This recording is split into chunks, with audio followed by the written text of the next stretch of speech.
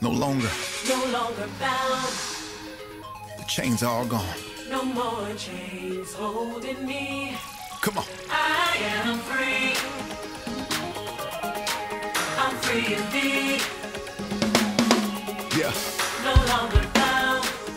The chains, the shackles, they falling off. No more chains